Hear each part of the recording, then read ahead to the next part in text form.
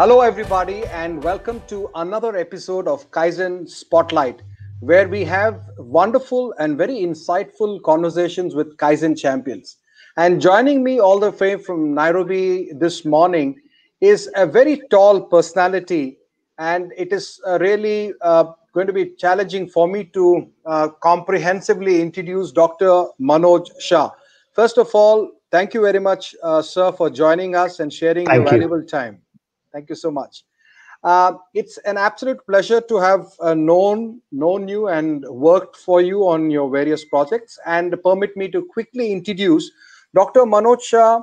Um, is is a man with uh, uh, many dimensions to his uh, both his professional and personal life. Uh, let me start with his professional side of his life. He is, of course, the chairman of the Kingsway Group, uh, which is one of the leading, uh, you know, uh, companies, group of companies in the tire business. They represent various international uh, tire companies, and they have over uh, 20 outlets, um, uh, you know, in Kenya, and probably also they do trading and other activities outside of Kenya. Uh, the Kingsway, um, you know, group is in, fact a very popular um, organization, business in the tire, you know, in the tire and related allied businesses. Um, he is, um, apart from um, being a very successful uh, businessman, uh, he has built this uh, group and made it extremely profitable. They have interest in hospitality. They uh, manage, they own and manage the village market, which is an extremely popular, um, you know, um, it's i think it's a mul it is uh, um, it's got multi-use it's it's a kind of a, a mall and other you know office space etc uh, he's uh, got another very significant contribution another side of um, his life is in the philanthropic side and uh, i think the most significant thing that comes to my mind is the chairman of the mp shah hospital and um, also he has built the lions um, eye hospital which is among the leading uh, eye hospitals with an eye bank in um, East Africa. It's based in Kenya.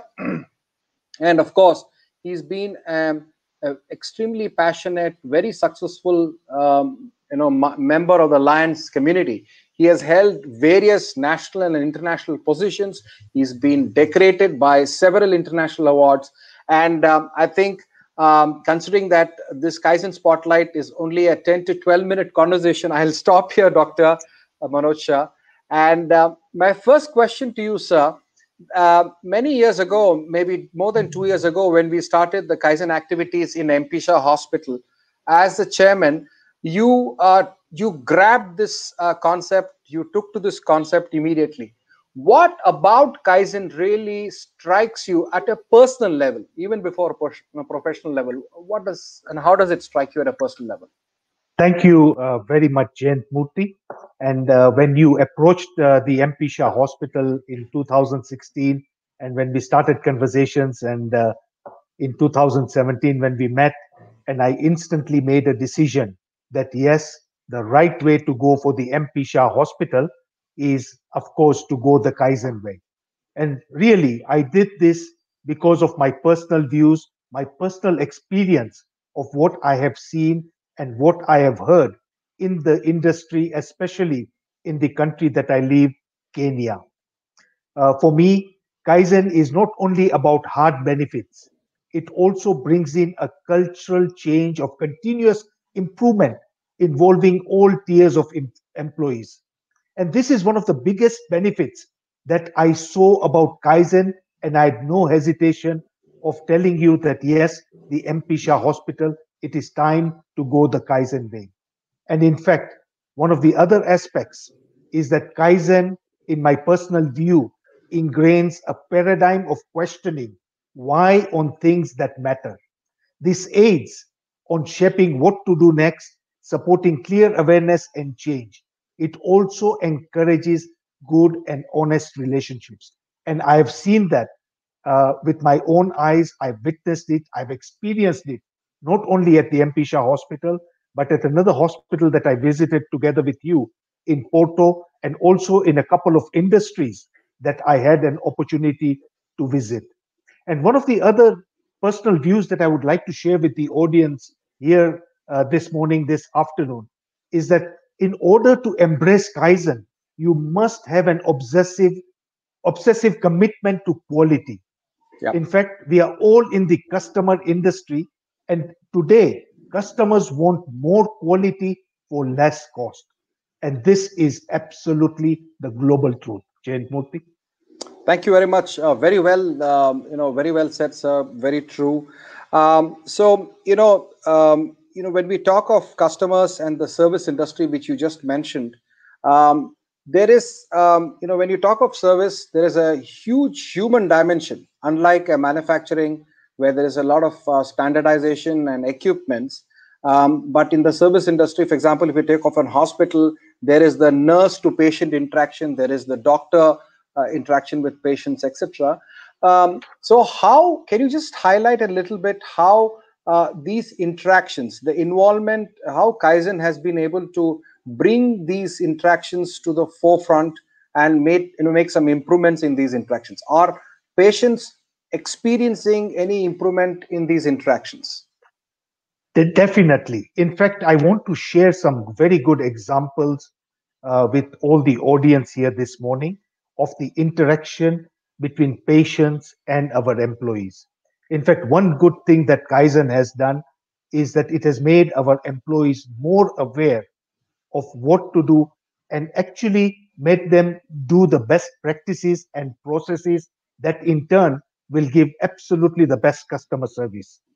And when we really look at some of the examples of success that we have had at the MP Shah Hospital, and especially in the application of lean in healthcare. Yeah. Uh, I mean, I can give you certain examples.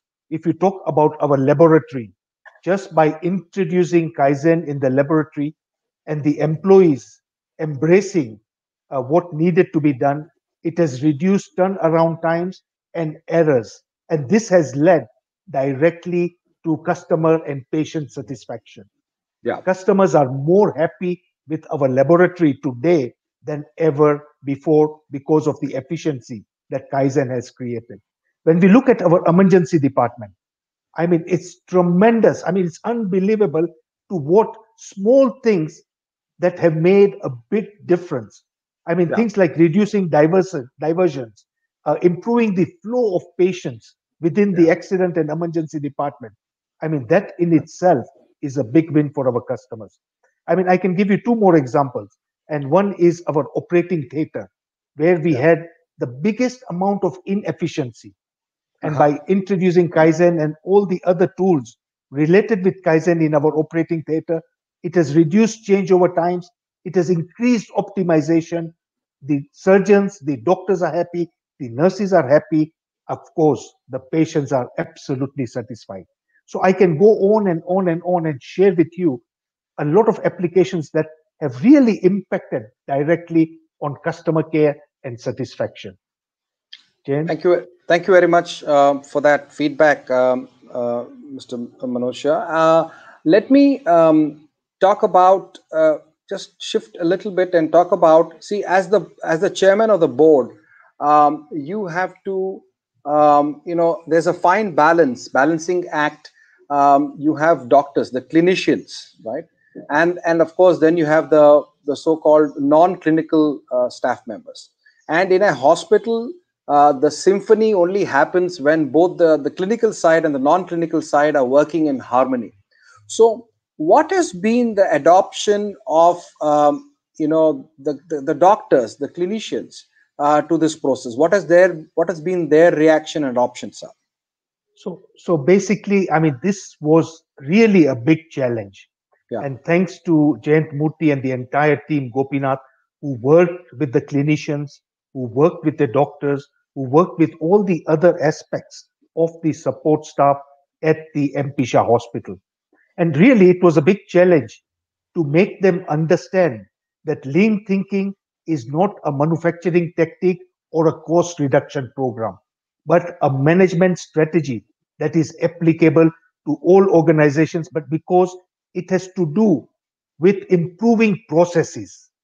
And Correct. this was really the very big obstacle that we actually uh, went through. And some of the challenges that we went through uh, in our Kaizen journey at the MP Shah Hospital, this, like you rightly said, the need for all staff to understand what the patient wants are and not what we think they want. Yeah. Because there's so a big true. difference. What yeah. the patient wants and what we think they want. True. And this is what Kaizen taught us. That, that they taught us that let, let our staff understand what the patient wants. And secondly, the need to really understand what our current service delivery is and what the problems are. And correct. The thing that brought all the clinicians, doctors, and all the paramedical staff together was the need to eliminate all the waste and all the blockages to flow so that we could deliver a better product at a better price. Fantastic. So, uh, uh, Mr. Manoj Shah, you really touched upon the most important concept of Kaizen is improving the patient flow. You see, we always say that a good hospital is when the patient can come in and he, uh, you know, all the services are flowing smoothly towards him and he can pass through the entire, you know, flow through the entire system and um, leave the hospital. And, and uh, average length of stay is a very important measure, as you know. Um, how do you reduce the average length of stay? Um, that's very important. And they, to eliminate obstructions, whether it is in OPD or IPD or when you are discharging or, as you said, in you know in the in, in operating theaters, in pathology, everywhere. Uh, thank you very much for that insight. I will um, quickly take one or two more you know insights from you and uh, that is about i vividly recollect sir um, i probably you were the uh, the only chairman of an uh, institution that to a not-for-profit institution who took the bold decision of um, taking a cross section of your staff members uh, all the way from kenya to portugal okay? And uh, for me in my career that was a very uh, grand uh, statement uh, or belief in developing people. And um, and you invested the time and money to take almost i think we were seven eight or ten people who went to portugal to see some of the uh, hospitals where this was being practiced large hospitals. Um, so you know what what made you uh, think that investment was worth it investment in time and cost to take all these people to europe from kenya and how has it sort of paid off so, being in the industry for more than 43 years and having yeah. experience in hospitality, trade, and of course, in the medical field, one of the biggest bottlenecks in any organization is not the scarcity of knowledge to use Kaizen tools, but it is people mindset or people sticking to old paradigms and accepting the change.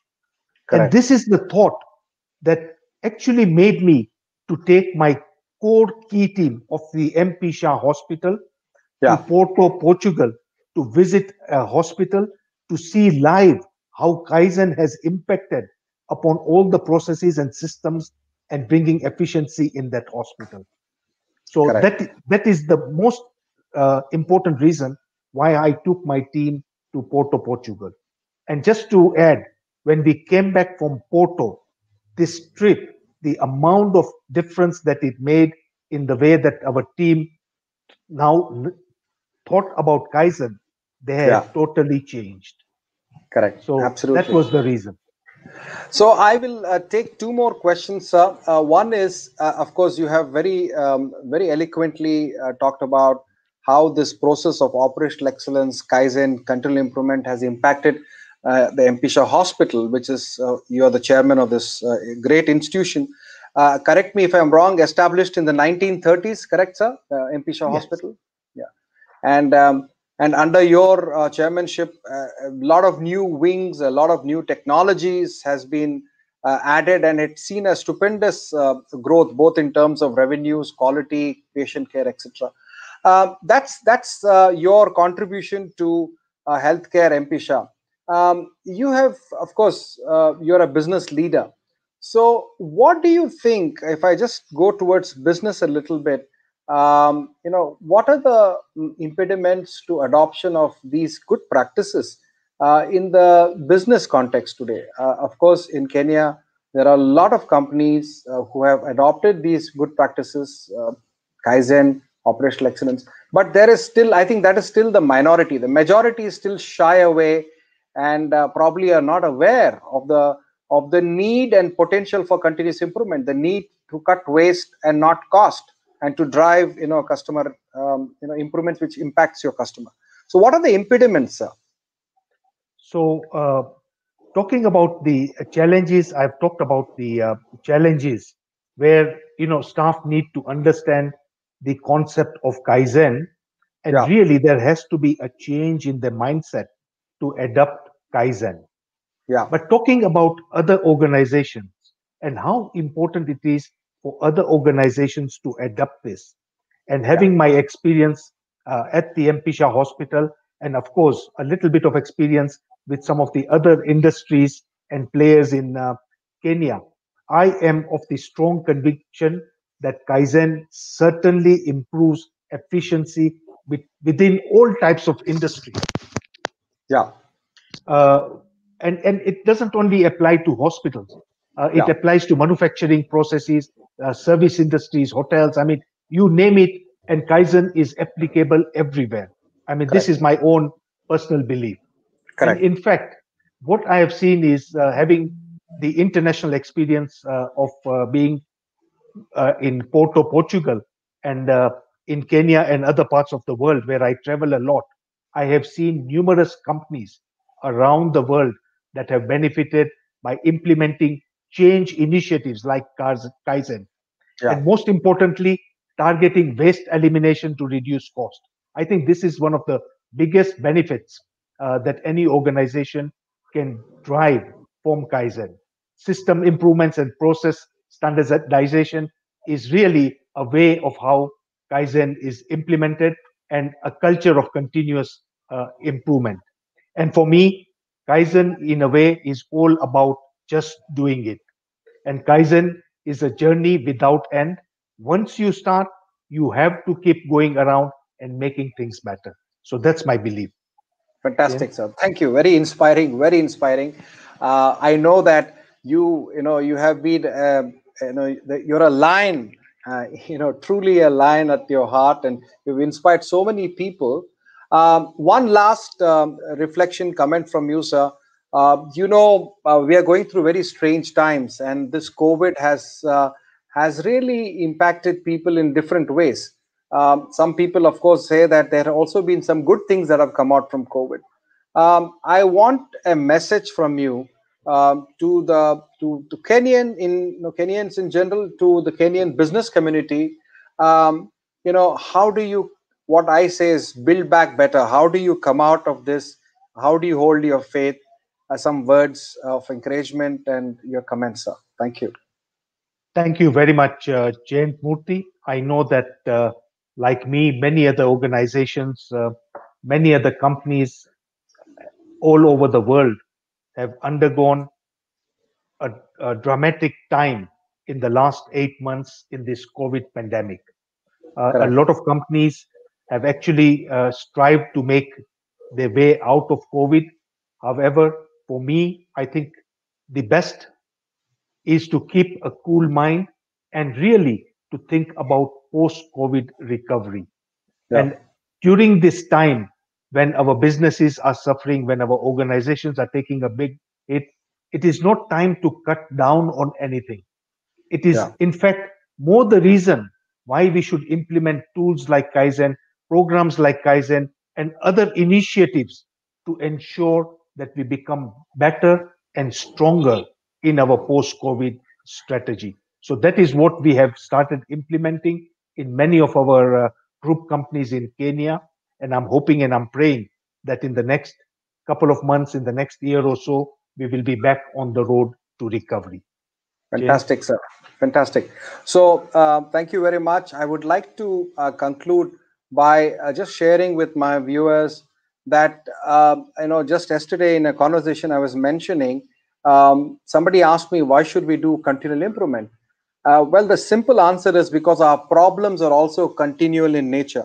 There's not a single day when we have zero problems. Every day there is a new challenge whether it's our personal life business.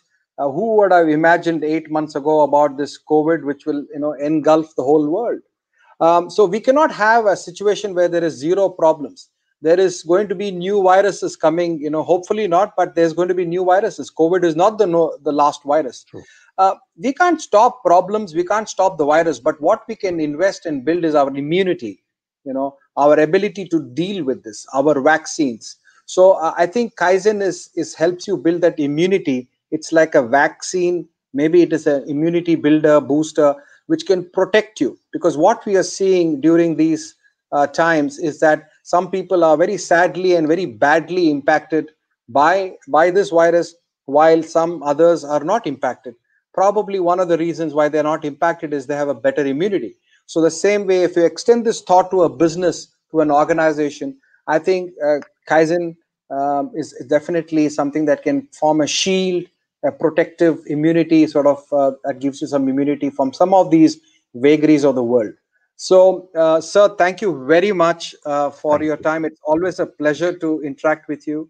And, uh, you know, in, in spite of your busy schedule you shared, we have a lot of viewers who uh, watch these 10, 15 minute, uh, we call it the Kaizen Spotlight series. And because there is no way uh, we can take the voices of people like you to thousands and thousands of other people. So we really appreciate your contribution, sir. Thank, Thank you very you. much. And you have a, a good day Thank and you. a safe safe time. Thank, Thank you. you. very much, Jayant Murthy, and God bless you all. Stay safe and uh, stay well. Thank you. Thank you, sir. Thank you very much.